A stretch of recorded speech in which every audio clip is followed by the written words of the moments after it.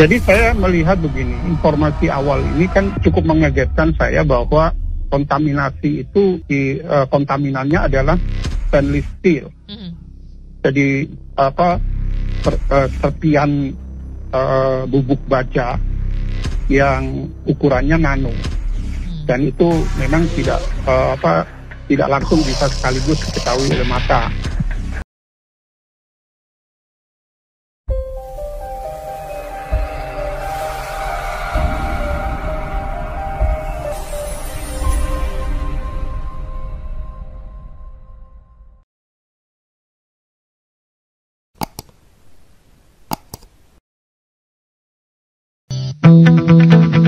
Lintas Jakarta Sore, Pro 1, Kanal Inspirasi. Instagram at RRI Pro 1 Jakarta. Menemani Anda pendengar masih di Lintas Jakarta Sore bersama dengan saya Binda Umar dan sore hari ini seperti yang sudah dijanjikan kami juga akan membahas ya temanya terkait mengenai tragedi vaksin Moderna. Mungkinkah terjadi di Indonesia? Dan di line telepon sudah terhubung dengan Profesor Dr. Hairul Anidom selaku Ketua Tim Riset Corona dan Formulasi Vaksin PFN. Selamat sore, Assalamualaikum Prof. Waalaikumsalam Mbak Binda, selamat iya. sore.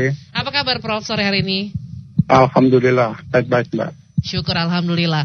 Iya, Prof, ini ada satu kabar yang uh, memang cukup mengagetkan terkait mengenai vaksin Moderna yang terkontaminasi di Jepang yang mengandung partikel logam. Namun kalau kita tahu juga di Indonesia kan saat ini juga sudah masuk begitu ya vaksin Moderna yang sudah disiapkan sebanyak ada juga ada hibah begitu dari COVAX Facility sebanyak 8 juta dosis. Namun kalau terkait mengenai kondisi sekarang ini vaksinasi juga masih terus berjalan sebagai program dari pemerintah. Bagaimana melihat uh, yang berkaitan dengan tragedi yang terjadi di Jepang ini, Prof? Uh, pertama saya bersyukur bahwa kejadian itu ditemukan di Jepang. Karena saya tahu bahwa negaranya akan sangat uh, peduli, sangat memperhatikan terhadap hal-hal atau aspek-aspek uh, hak dari warga negara, terutama dalam aspek kesehatan. Mm-hmm. Saya nggak yakin bahwa itu kalau ditemukan di negara lain bisa ditelisik sampai sedemikian detail dan saya mencoba untuk mengikuti memang belum banyak informasi yang diberikan karena masih dalam taraf penyelidikan terhadap hal-hal yang berkaitan itu. Jadi jadi saya terus terang bersyukur dan bukan dalam arti mensyukuri bukan dalam arti bahwa itu ditemukan di Jepang. Jadi artinya bahwa se semaksimal mungkin yang dikatakan terbaik bahwa uh, vaksin-vaksin uh, yang terbaik itu toh mendapat uh, sesuatu yang memang harus diperhatikan bersama sebagai uh, hak kita, sebagai kewajiban kita untuk mengontrol uh, sesuatu yang harus diberikan kepada, yang akan diberikan kepada tubuh kita itu. Hmm. Kalau bicara soal vaksin yang memang sudah ada di Indonesia kan seperti ada Sinovac, Pfizer, Sinopharm, Moderna dan lain-lain. Mungkin kalau bi bisa untuk menjabarkan terkait mengenai masing-masing dari uh, vaksin yang ada yang memang juga sekarang masih masuk dalam program pemerintah ini seperti apa sih, Prof? Mungkin sebagai pengetahuan juga untuk masyarakat saat ini. Iya. Jadi saya melihat begini, informasi awal ini kan cukup mengagetkan saya bahwa kontaminasi itu di uh, kontaminannya adalah stainless steel. -hmm jadi apa per, uh, serpian uh, bubuk baja yang ukurannya nano hmm. dan itu memang tidak uh, apa tidak langsung bisa sekaligus diketahui oleh mata. Jadi tapi artinya ada teknologi yang untuk apa mengetahui hal-hal yang berkaitan dengan kecurigaan-kecurigaan di dalam suatu formulasi. Jadi kita bisa bayangkan di dalam suatu vaksin yang begitu jernih itu diketahui ada uh, semacam bubuk serbuk apa itu istilahnya serbuk stainless steel hmm. dan diduga bahwa ada beberapa dugaan-dugaan salah satu dugaan yang agak cukup menggelikan dan cukup mem memprihatinkan yaitu adanya kejadian itu dimungkinkan di industri fillingnya jadi pengisian yang dilakukan di Spanyol hmm. jadi di sana ada satu industri cabangnya dari Moderna atau apa sister company-nya yang melakukan filling, jadi meng mengisi uh, vaksin itu. Nah, kemudian diduga itu disebabkan karena pada waktu botol itu berhenti di, di apa di di ban anu itu dia kena goyangan terus kemudian uh, stainless steelnya rontok. Hmm. Nah ini ini perlu kita kaji sampai seberapa jauh sebetulnya apakah itu hanya tiga bat, tiga lot yang ada di Jepang saja yang mengalami kecelakaan? Mhm. Kalau mengalami kecelakaan atau ketidak, apa istilahnya, mungkin karena ordernya saking tingginya sehingga tidak halal yang begitu tidak di apa di, tidak dihiraukan. Tapi tiga bat, tiga lot, 1,6 juta. Nah, itu sampai seberapa jauh yang lot yang lain perlu dilakukan pengujian, termasuk juga yang masuk ke Indonesia. Yang kedua, bahwa stainless steel ini bisa menimbulkan eh, bahaya kepada tubuh kita.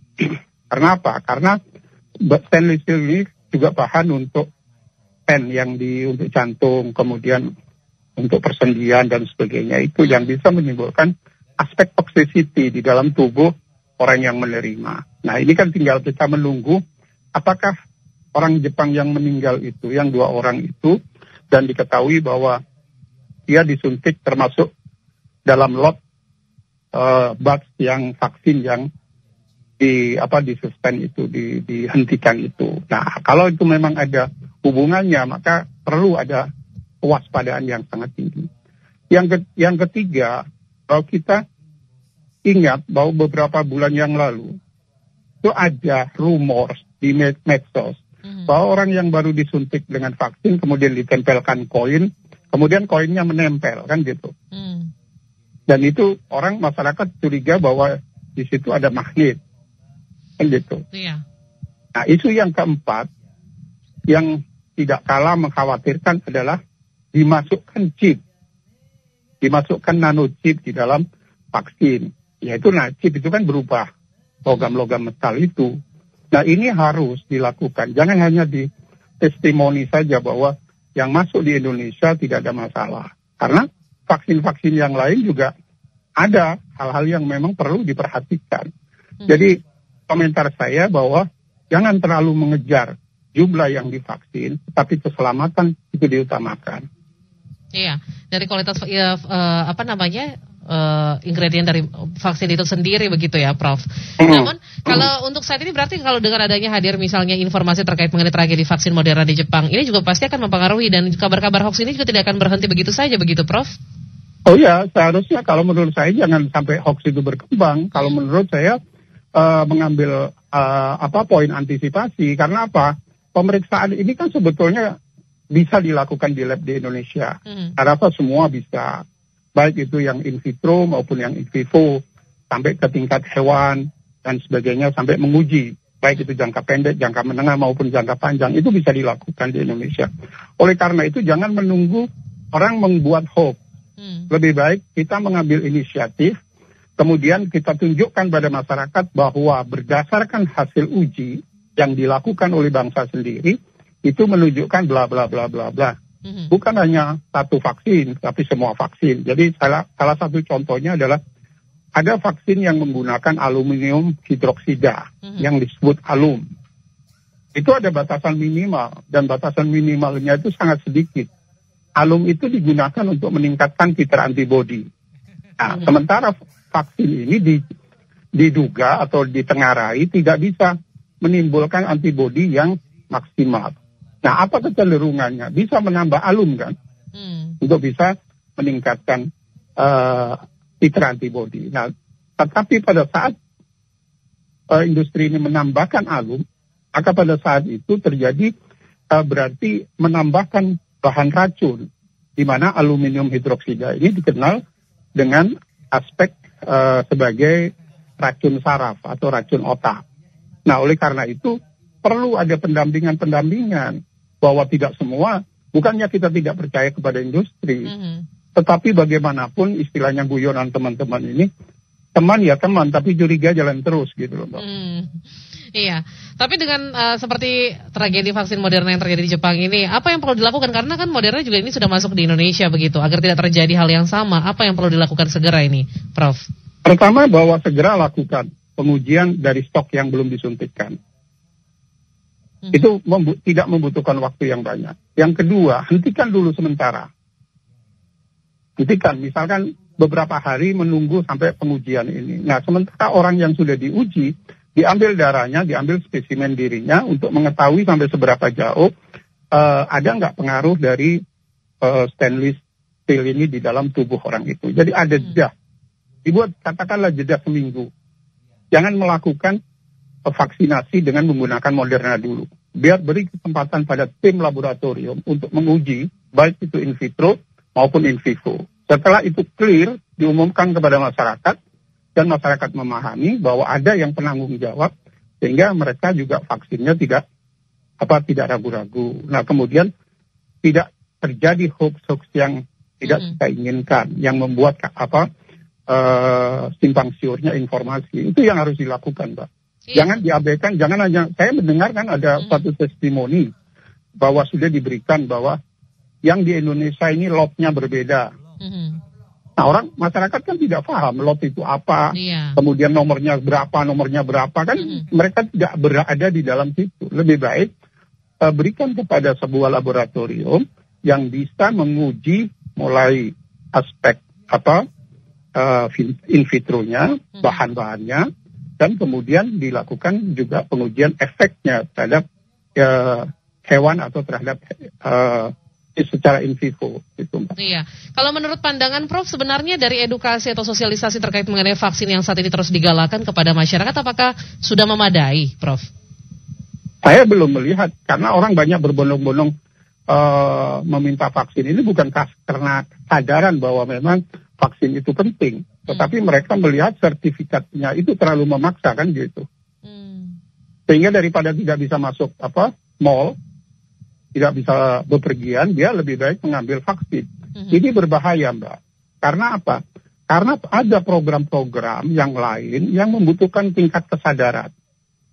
Iya. di mana kesadaran vaksin itu adalah diperlukan untuk menumbuhkan suatu sistem kesehatan yang kuat di suatu negara.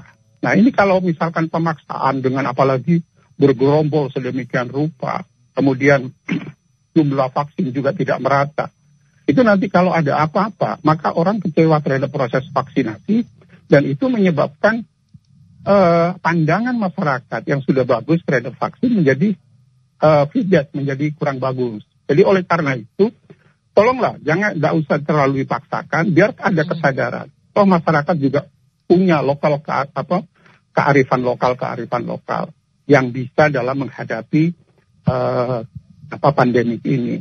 Saya cuma khawatir bahwa vaksin itu bagus, tetapi karena pemaksaan-pemaksaan yang sedemikian rupa menyebabkan nanti masyarakat tidak menyadari lagi bahwa vaksin itu jadi baik karena Hmm. proses tingkat penyadarannya, tingkat edukasinya dengan menggunakan eh, apa ya pemaksaan dan menakut-nakuti kan gitu seolah-olah sertifikat itu segala-galanya kan gitu. Iya. Kalau melihat Itu yang perkembangan sampai saat ini, Prof, eh, terkait mengenai varian mutasi virus COVID-19 dengan vaksin-vaksin yang memang sudah hadir di Indonesia, ini seperti apa? Apakah memang eh, artinya cukup eh, mampu begitu untuk bisa eh, menangkal hal tersebut atau bisa menjadi sebuah apa eh, daya tahan begitu untuk seseorang ketika sudah divaksinasi? Pada prinsipnya eh, vaksin itu kan one vaksin one patogen mbak. Hmm. Jadi yang homolog itu pada prinsipnya. Jadi kalau vaksin eh, dibuat dari virus A, maka Hmm. vaksin itu terhadap virus A akan 100%. Hmm. Nah itu, tetapi dengan perkembangan dari varian-varian yang ada, itu juga perlu dilakukan pendampingan sampai seberapa jauh vaksin ini yang sudah tidak berubah sejak Januari yang lalu, Mhm. Dengan sekarang ini variannya sudah lebih dari 2000, yang lebih mencolok kan berapa 10 apa berapa Iya. dengan delta, delta varian. Mhm. Nah sekarang ada lagi yang mengintip kepada kita adalah varian lambda, kemudian ada mu varian dan sebagainya. Ini yang sudah diingatkan oleh WHO. Oleh karena itu perlu pendampingan dari hasil vaksin. Jangan hanya gembira karena mencapai vaksinasi, tetapi tidak tahu persis bahwa vaksin yang disuntikkan itu efektif apa tidak terhadap virus-virus yang ada di sekitarnya. Saya khawatir bahwa masyarakat sudah kadung happy, sudah kadung apa gembira karena sudah mendapatkan vaksin, tetapi ternyata tidak mem, tidak apa tidak bisa mengatasi eh, virus-virus yang ada di sekitarnya. Nah, itu kan kita khawatirkan bahwa mereka tidak siap. Oleh karena itu, vaksin ya vaksin, tetapi Hmm. tidak perlu ada sesuatu. Yang penting kita utamakan adalah local wisdomnya itu. Local wisdom itu yang ada di dalam prokes itu. prokes berapa M mau 10 M boleh lah. Boleh, Hmm. boleh itu. Tapi Aha. prokes itu yang nomor satu. Tuh. Iya. Tapi bagaimana juga untuk bisa mengkomunikasikan dengan kondisi sekarang ini baik untuk masukan kepada pemerintah dan juga kepada masyarakat apa yang perlu dilakukan ini, Prof? Ya stop dulu kayak anu kayak apa kayak sertifikat itu Hmm. apa manfaatnya? Kalau memang dia bisa diwariskan kepada anak anak keturunan seperti punya sertifikat tanah ya bagus lah. Tetapi kalau hanya sertifikat itu hanya untuk sekadar menggertak, menggiring orang untuk melakukan vaksinasi, sebaik dilakukan dengan edukasi-edukasi yang soft education gitu loh. Hmm. Itu sehingga orang itu sadar gitu loh. Oh ya, Iya. di lingkungan saya ada ini, di lingkungan ini ada ini, maka saya harus melakukan ini. Oke, karena saya tidak bisa melakukan ini, saya melakukan itu kan gitu, Mbak. Jadi ada sesuatu pendampingan-pendampingan yang soft pada masyarakat untuk menghadapi masalah dan problem bersama ini. Mhm. Tuh. Baik, ya kita lihat seperti apa tentunya ya Prof. Mudah-mudahan ada langkah yang langsung dilakukan ya dari pemerintah terkait Ya, mengenai- mudah-mudahan. Kalau saya kan peneliti virus, Mbak, peneliti virus dan peneliti vaksin. Itu yang saya amati sampai seberapa jauh adanya vaksin, kemudian menimbulkan berbagai varian-varian baru kan gitu. Itu Iya. yang saya pahami selama ini dengan aspek virus. Kan yang selama ini ppkm dan sebagainya turun level, Mhm. itu kan aspek hostnya yang dinilai. Jadi Hmm. hilangnya, oh menurun, menurun. Tapi bagaimana virus yang ada di sekitar kita itu belum ada kajian. Ya, Iya. mudah-mudahan saja tidak ada problem. Tahu-tahu misalkan sudah ppkm-nya nol, tahu-tahu muncul baru kan dengan varian-varian Iya. baru. Nah itu yang kita tidak kehendaki kan gitu. Mhm. Kalau seperti dari acuan WHO yang tadi dikatakan ada juga eh, varian mutasi lainnya ini apakah memang itu sudah ada prediksi ini juga akan masuk ke Indonesia atau seperti apa, Prof? Jadi begini Mbak, virusnya ini kan strukturnya sama seluruh dunia. Mhm. Jadi coronavirus kan gitu, jadi Hmm. COVID. Tantangannya juga sama. Jadi tantangan yang dihadapi oleh eh, virus itu majornya sama, yaitu Hmm. Vaksin. Yang digunakan seluruh duni- dunia sama.